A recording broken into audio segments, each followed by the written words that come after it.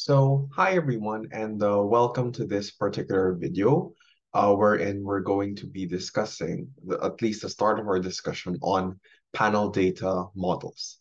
So, the use of panel data is sort of uh, uh, very, very common in microeconometrics and in the realm of econometrics. And what we'd like to do is, well, it's important for us to know what models we can use uh, and the particular assumptions each of these models make when uh, our data is of a panel structure, which we know is quite interesting to uh, uh, to understand. So uh, I'm going to motivate first our discussion on uh, panel data models by discussing the relationship or potential relationship between green spaces and income.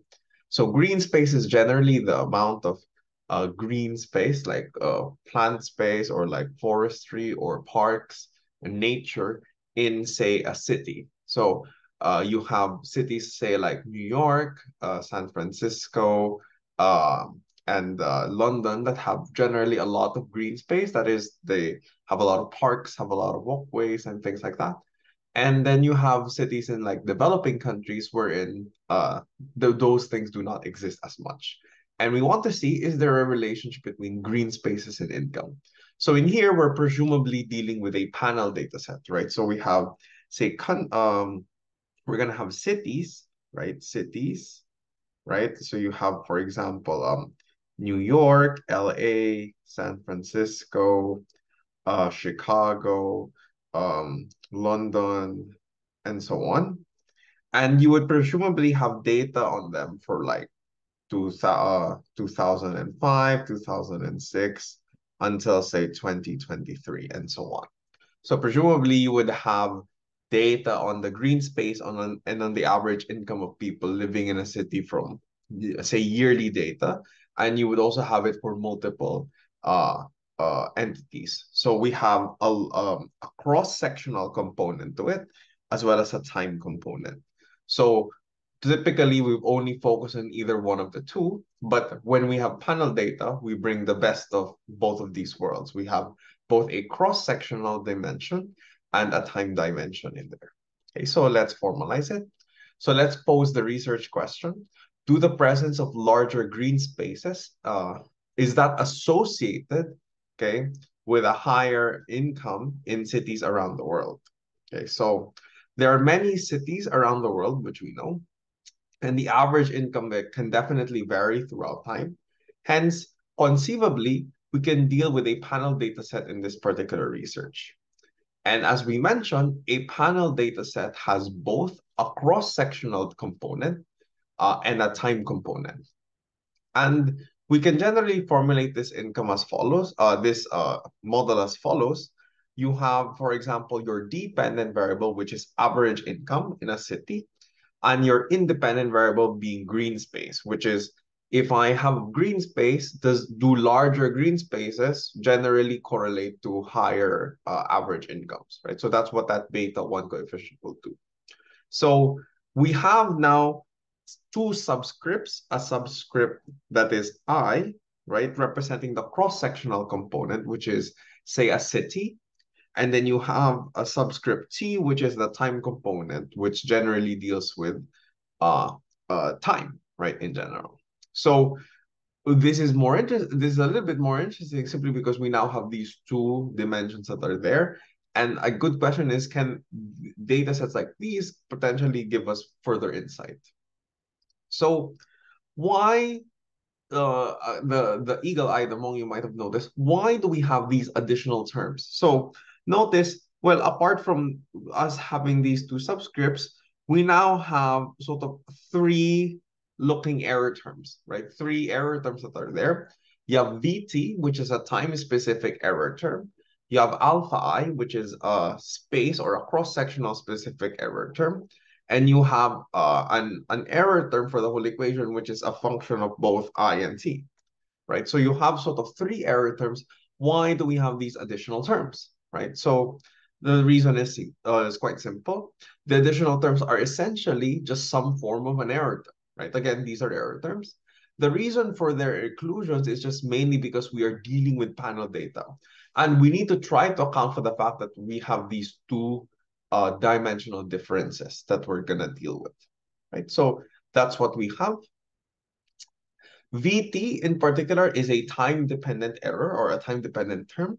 If the data set contains, for example, cities, as in our example, it means that this is some error that is more sort of dependent on the general trend rather than based so on a city specific trend. What I mean by this is, well, cities around the world generally have this trend regardless of each individual idiosyncrat um each individual city. So it's like all of them are roughly growing throughout time. Cities are getting larger throughout time. That's a time component thing. Okay.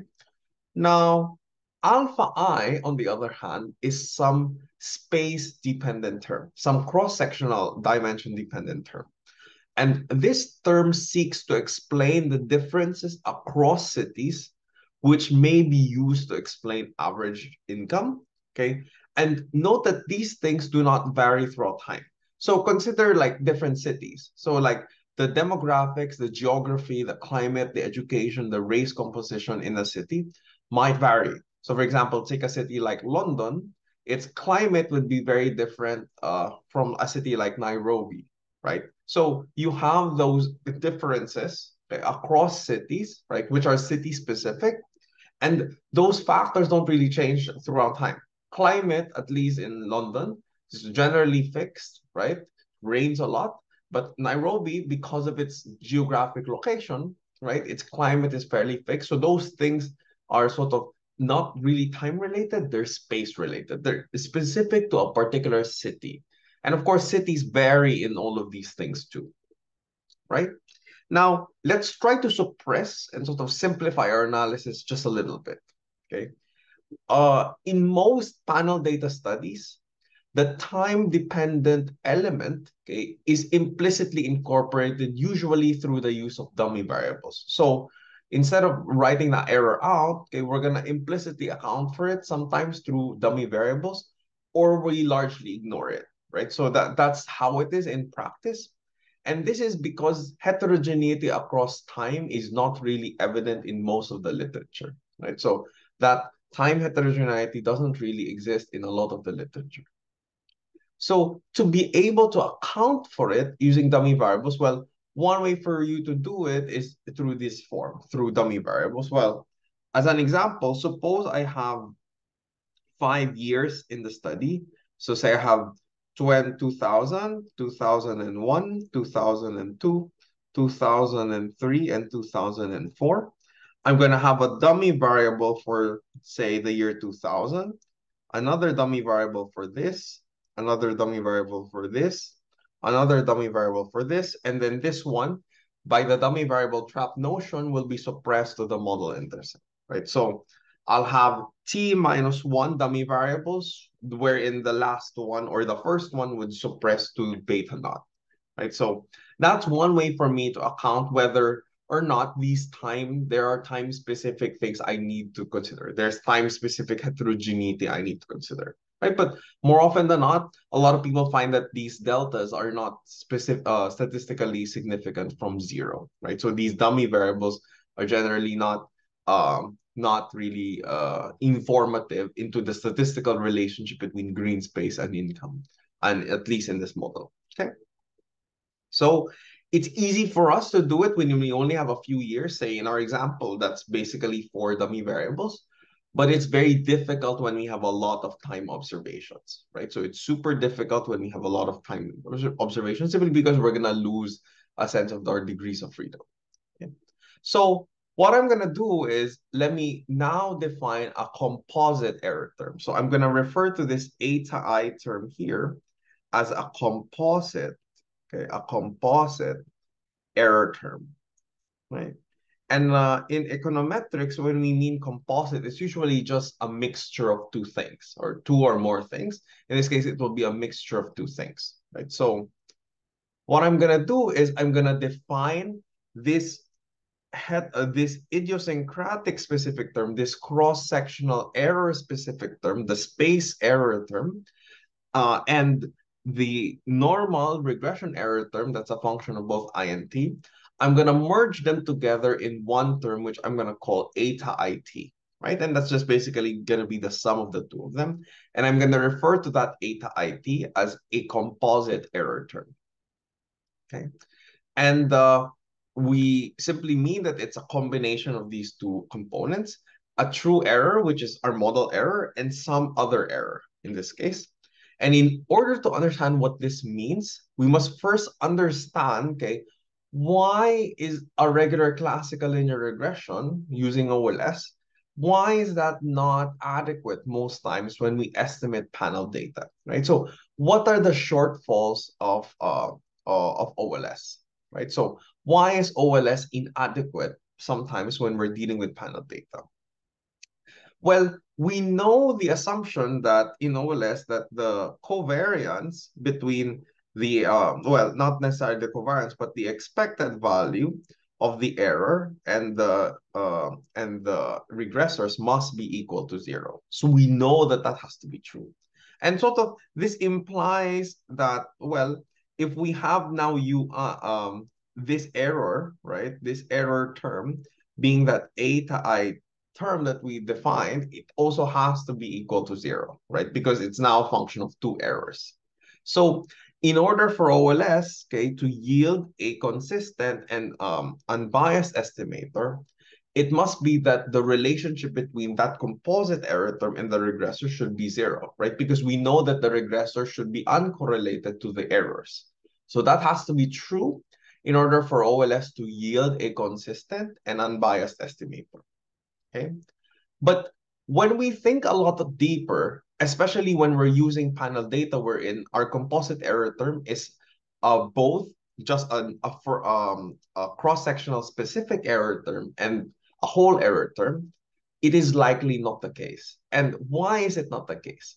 Well, consider our example, right? In our example, our eta IT is this alpha i plus UIT. And in our example, we only have one regressor, which is green space. Okay. We can see that assuming that is equal to zero, okay, uh, just the error, just the error itself, maybe this and this, okay, maybe holds like normal, right, in most cases, and there probably wouldn't be an issue. But the thing that is sort of problematic is we have this alpha i term and the covariance of alpha i and that green space term, okay, between our regressor and alpha i is highly likely to be not equal to zero. Like it's it's more often than not not equal to zero. And that's a problem, right? Because we know that if that covariance is positive or uh, is that covariance is some positive value, then of course we're gonna be dealing with uh probably not a good estimator. Okay, so what, what do we think of this? Our answer is probably that it is not equal to zero. So more often than not, that covariance term is not equal to zero.